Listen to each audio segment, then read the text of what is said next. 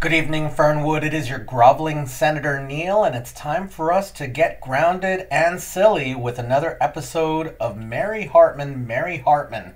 We are watching episode 288 today from May 11th, 1977, and yesterday laid waste to two major storylines, so I think we better take a look back. We started yesterday's episode with Wanda telling everyone at the jail that she was in the shack as it was burned down. Merle is incredulous that Wanda would even be near Dewey, and she lets everyone know that not only was she there, but that Dewey was dead before Tom even got to the clearing. So it isn't possible that Tom could have killed him. And of course, this is a shock for everyone in the room. But Dennis Foley steps up and asks Wanda exactly how did Dewey die? Wanda's response is that Dewey was pleased to death, which means that Dewey died by orgasm. And of course, this catches everyone off guard as well. Merle insists that none of this can be proven, but Wanda pulls out her diary and says that the proof is in there and that Dewey's real name was Drexel Johnson. To which Mary responds, Drexel Johnson, the man that you had an affair with so many times?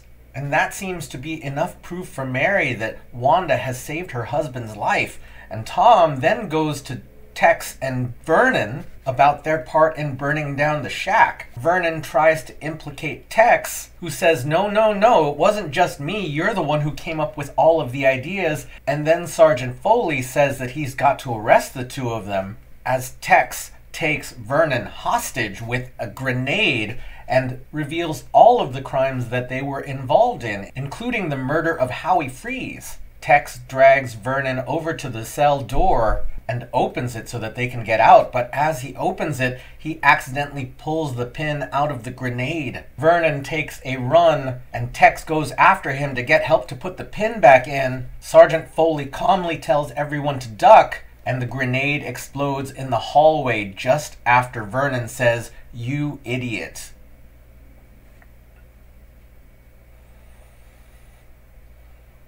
And as the dust settles and everyone comes to, they're clear that Vernon Bales and Texas are no longer alive. The next scene starts with Tom, Mary, and Heather coming home. Tom is just trying to take it in while Mary suggests that they go up to the bedroom. Tom seems more interested in grabbing a beer, which is something that they don't keep in the fridge since Tom was a recovering alcoholic. He's also surprised by the office setup in the kitchen since Mary took the job with Merle Jeter, and before Mary can take Tom upstairs, Charlie and George show up to take him to celebrate his freedom. Mary is left alone and Dennis stops in and notes that Tom left her alone. Over at the Jeter residence, Merle is still fuming at the news that Wanda slept with Dewey.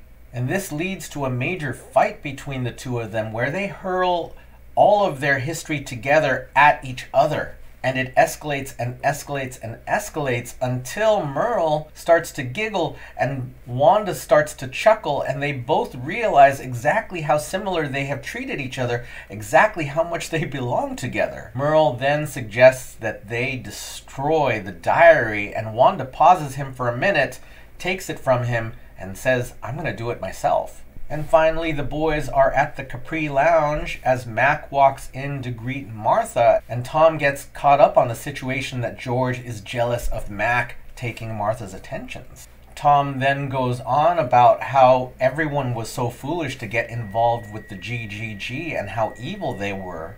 And then the three men take a toast to Tom's freedom, and Tom chugs his beer enough that Charlie and George take a pause and Martha brings over two more pints, and Tom double fists those drinks. Everyone, we have laid to rest two major storylines, and well, I don't really know exactly what that means, but the floor is clear for the remainder of this series. We've got seven and a half weeks at this point, so we gotta do this.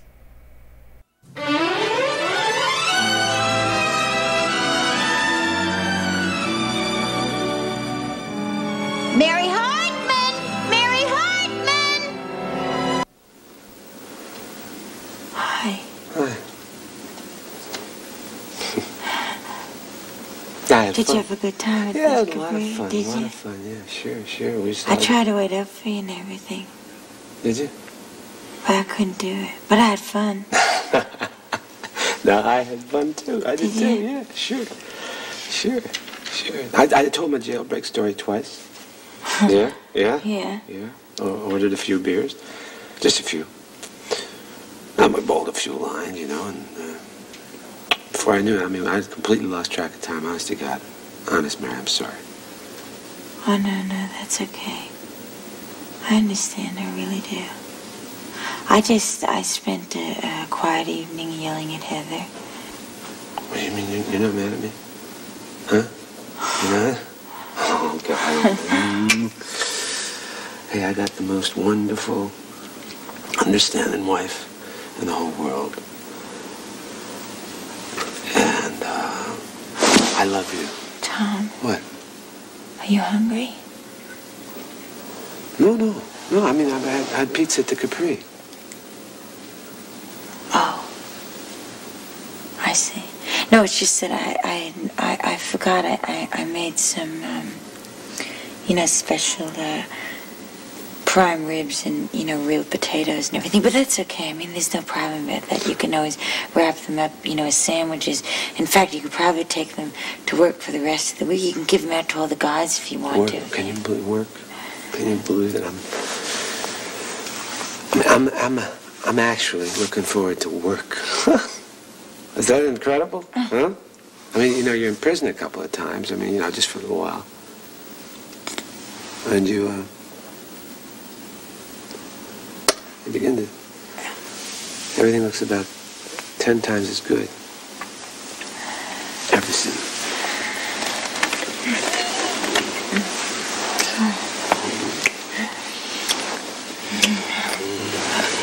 Oh. Oh, baby. Oh. Look, I I can't tell you. No, I've waited. I've waited for so long. So long to hold you in my arms in this bed. Mm. I couldn't tell you how many times I used to just lie awake at night here, and I used to think, what crook is he is in the next cell listening to him snoring tonight? What crook? When it should have been me there, it should have been me with you. Oh, Tom, I love you. Hey, hey, hey, hey, I'm home. I'm home. I'm home for good. You know? What'd you think? Did you think I wasn't coming back? Huh? Huh? Back here? Yeah. No. I need to make it back home. You did? Yeah. How come? Well, because I just knew that you had a lot of pent up emotions in you from being in a jail cell, you know, like that's two by four, and that you had to get all that stress out of you. That's amazing. You know, I know you're so understanding and smart. How'd you know that, huh? Hmm? Dennis told me. With Dennis? What do you mean? You mean as in Dennis Foley? He, he, what he did was he tried to explain to me some of the things that you might be going through now, that's all. Well, what the hell does he know about what the hell I'm going through? I mean, you should know about that. You should know that. Tom, don't this now, please. Don't, don't do this now. You know, maybe, maybe I'm not the one who should be jealous. Maybe Foley's jealous of me, the time I spend with you, huh? You know, I'm beginning to think. I'm beginning to think that you need Foley around here a hell of a lot more than you need me around here. Tom, where are you going now? Please don't do this. The last time you went out like this, you ended up in jail. Now, please, I really don't think I could take that again. Hey, look, let me explain something. No, let me explain something to you. Look, I need, I need some room to. I just got out of jail. I need room to breathe. I need some air. Or maybe Foley didn't explain that to you either, huh?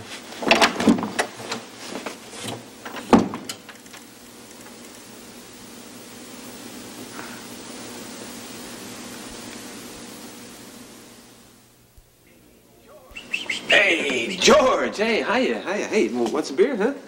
It is now 10:35 and two seconds. An early bird catches the worm. An early drunk catches hell.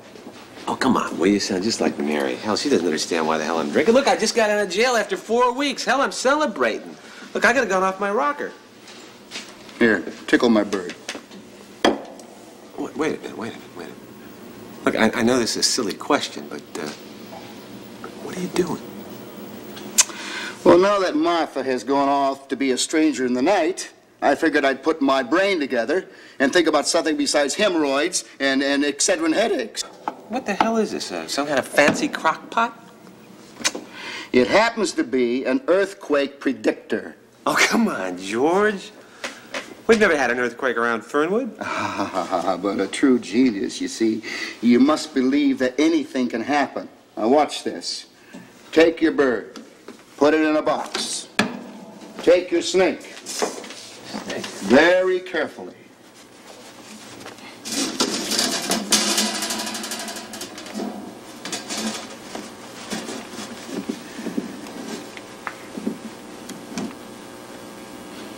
Very carefully. What kind of snake is that? Big. He's big, all right. My God, where are you going to put him? Open the box, open the box, will you, Tom? All right, all right, all right. Wait a minute, wait a minute, wait a minute. Wait a minute. Don't get him near me, will you? In there you go, Snake. Get in there and do your job. Now, snake, bird in the box, right? Yeah. Okay. In the event of a possible earthquake, Yeah. they get spooked, you see, uh -huh. and the box starts to rattle. Uh -huh. And then I can go and measure the earthquake with all my dials here. oh, I'll tell you something, Tom. I am going to be a rich man. Oh, my God!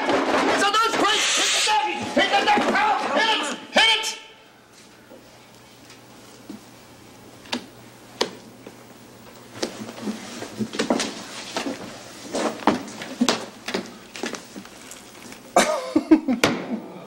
That was no earthquake, George. Your snake just ate your bird.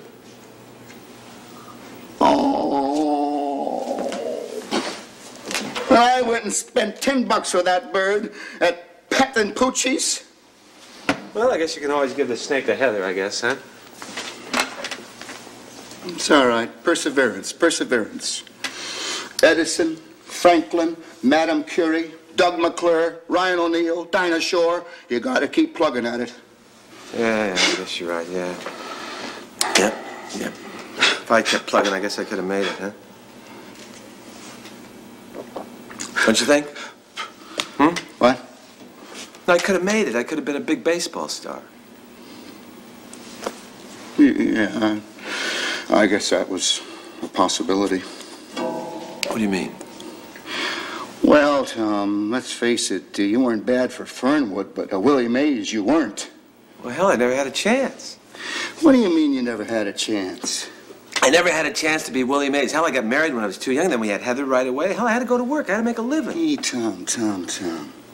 In this world, there are people who are destined to be movie stars. There are people who are destined to be baseball stars. There are people that are destined to be presidents. But, and then, there's you. What?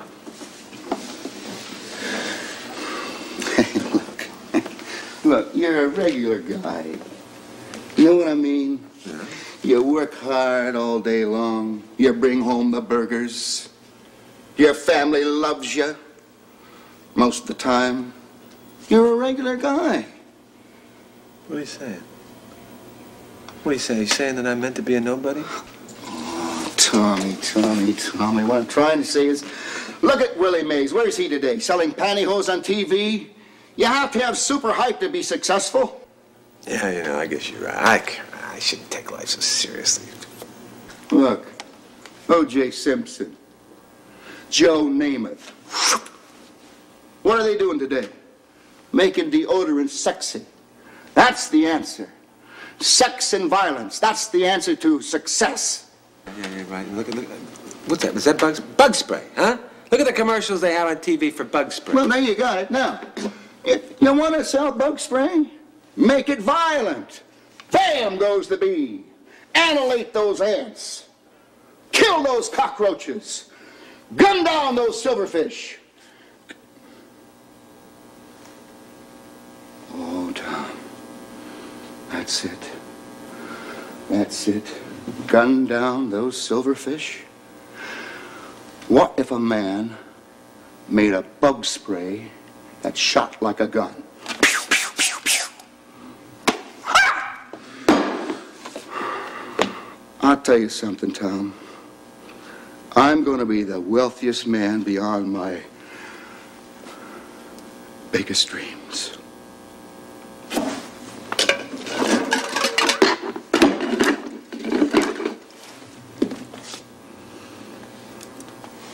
Every man should have his can.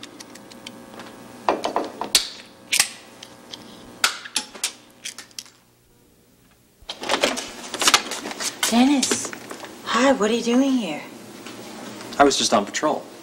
It's part of a new uh, new police program, I circulate in the community. Oh, well, that's very nice.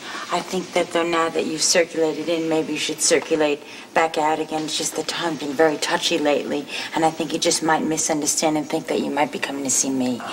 Well, Mary, uh, friends, which we are, keep in touch. Uh, touch. So,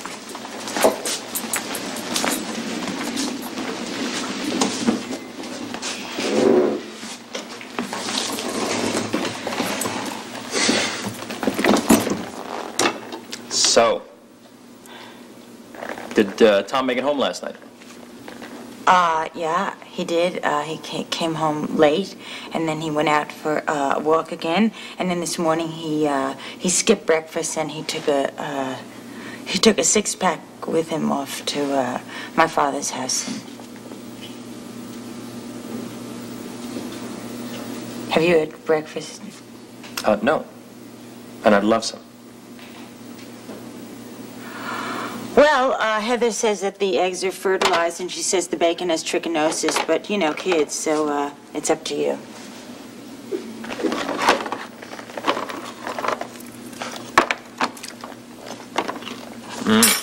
Oh, bacon is nice.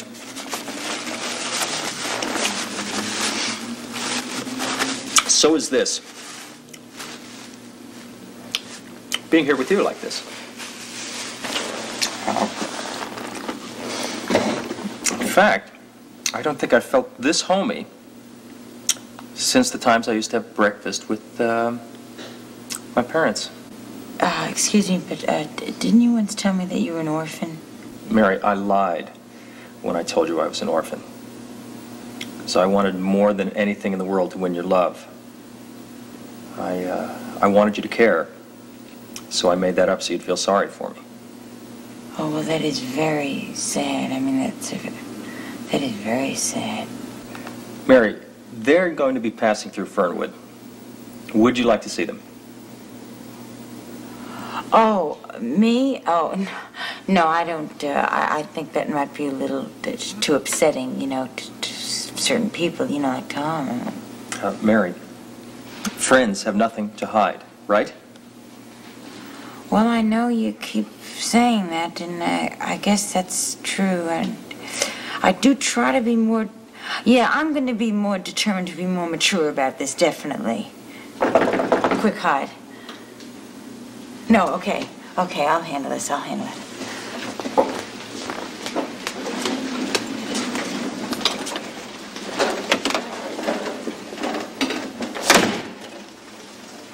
It's Wanda. She's an old hand at scandal.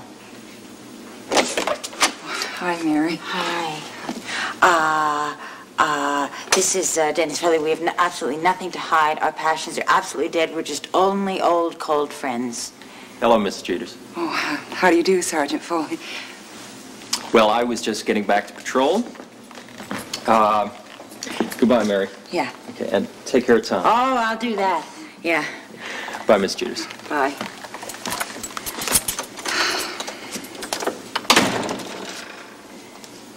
Coffee. Oh, love some. Yeah. Speaking of which, uh, there is absolutely nothing between uh, Dennis and me. Absolutely nothing. Mary, I, I came over here to apologize about Tom. Oh, hey, believe me, I, I never meant for him to go to prison. I, see, I just kept hoping that somebody else would set him free. Oh, Wanda. Oh, Wanda. Oh, Wanda. The only thing that matters is that we're back together and everything is normal again. It's oh. back home. Oh, how am I ever glad to hear that. You know, Mary, you and Tom have always struck me as the perfect couple. We did? Mm-hmm. Perfect? Oh, yeah. Yeah, you're so happy. Gee, really? Mm-hmm. Well, then maybe we are. Oh, I wonder if someone should tell Tom that.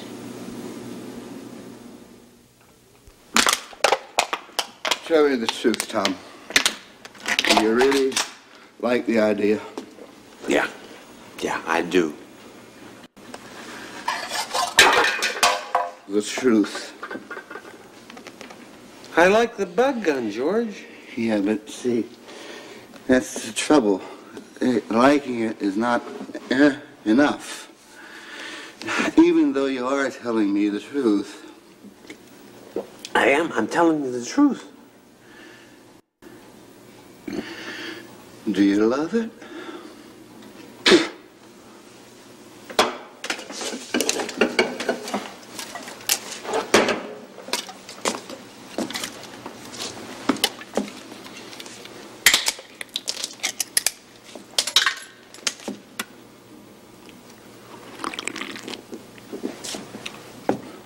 I love it. You're lying. George, for God's sakes, I like the idea of a bug gun. Listen, don't be offended, but would you swear to that on a Bible? Oh, God, I'm getting the hell out of here. Oh, getting wait. out. Oh, Tom, getting Tom, out. Tom, wait a minute. I trust. I look, I, I'm just not sure. I don't know if that is any good or not. George, I'm telling you, I swear on my life, it's good.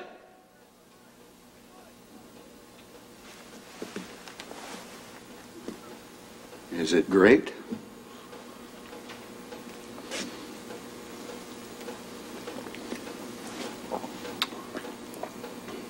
Goodbye, George.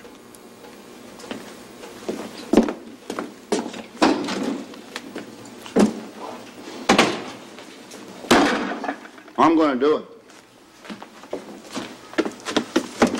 I'm going to do it, Tom, in spite of you! Hi, Daddy.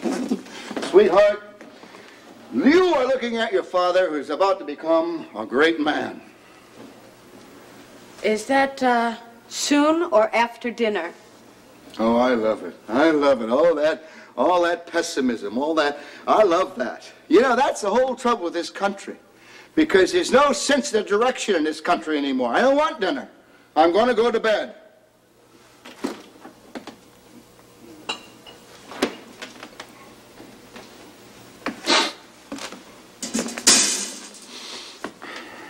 Good night, Daddy. Good night, sweet prince. Sis.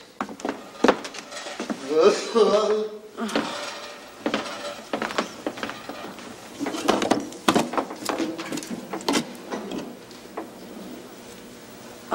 Ah.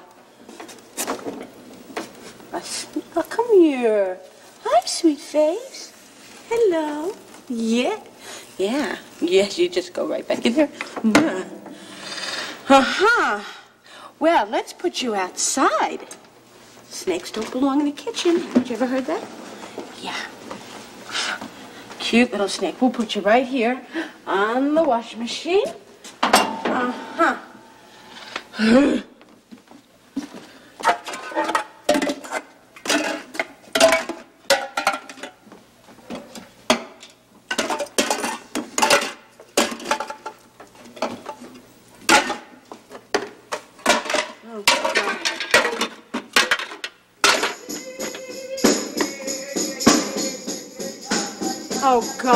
the Bogazides.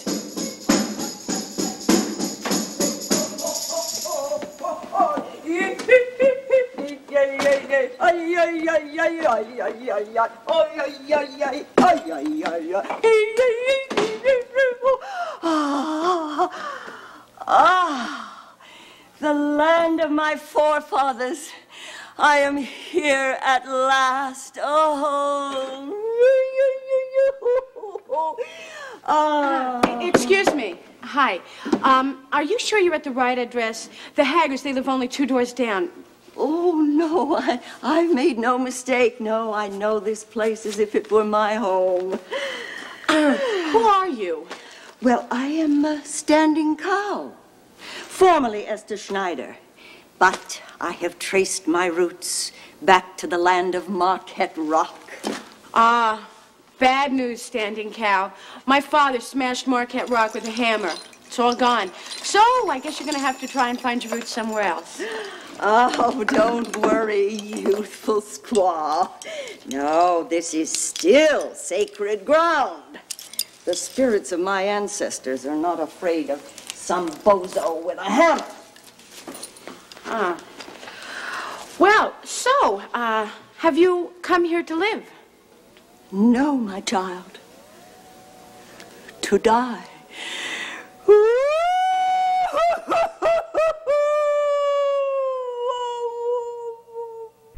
Okay, y'all, this is the new direction. We start with the ground floor of Tom and Mary's relationship, and it really starts with a tender reunion that is then interrupted when Mary tells Tom that she's seen Dennis, and that sets him off in a jealous rage, which is really troubling because I know that Mary isn't seeking Dennis out. I wish that Tom and Mary could talk about this. Tom and Mary have love for each other, but as we continue to repeat, they also have problems, and Dennis is a problem. So then we see Tom over at the Shumway home, and George is inventing, and it, is such a silly invention, a an earthquake detector, because we already have seismometers. The Richter scale is a thing for a reason.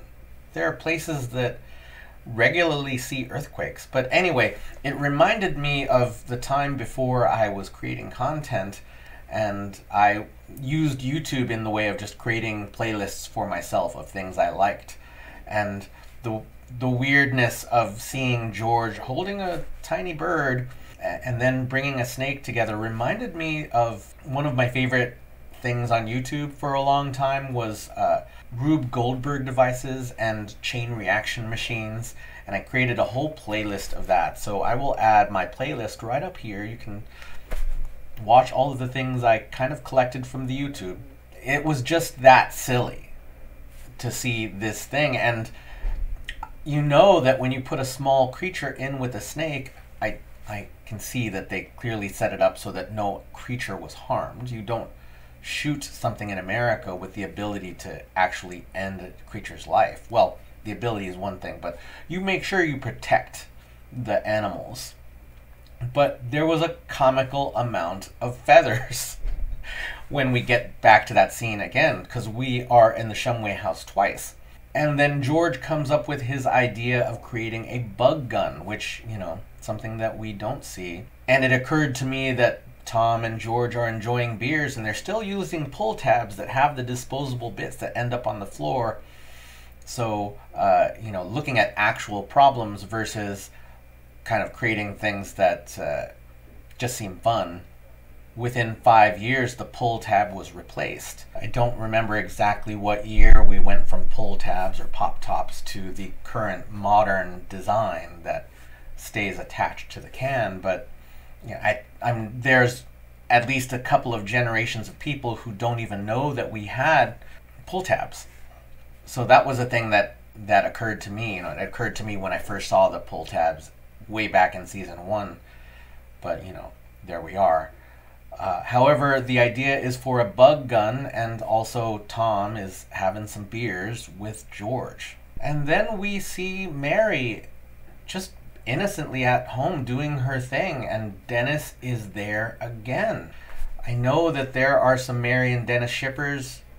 Do what you do, but I see Dennis pushing past a boundary that Mary has clearly set up. When Mary says, please don't stay here, she is concerned about the feelings of the person that she lives with. It's not a control thing because Mary is the person saying this. It's not like Tom is, well, I mean, Tom is fairly possessive and clearly very jealous. And Mary is being respectful of that. Mary doesn't even want Dennis's attention in this case. But Dennis pushes his way in, which is the way that I see him. I see him pushing past what Mary is comfortable with. That's my problem with him. Dennis insists on seeing the world his way. He even said that he lied to Mary at some point. I don't remember him saying that he was an orphan, but he clearly is demonstrating that he will manipulate the truth so that she has feelings for him. She wants nothing to do with this, but he wants everything. And even two weeks ago, when he first came back, he said he would never see Mary, and now he's at Mary's place all the time.